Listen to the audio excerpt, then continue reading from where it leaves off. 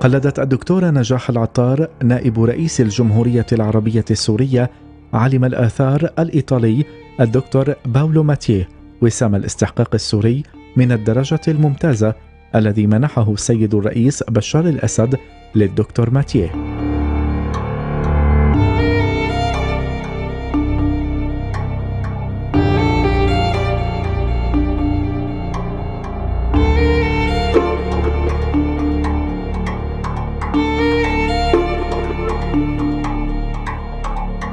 عنيف بطيران ميك على مدينة قلعة الحصن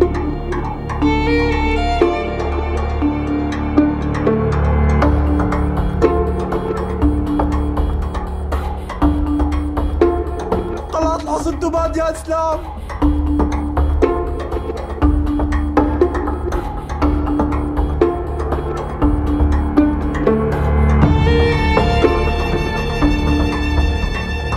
صارت المطران برنابة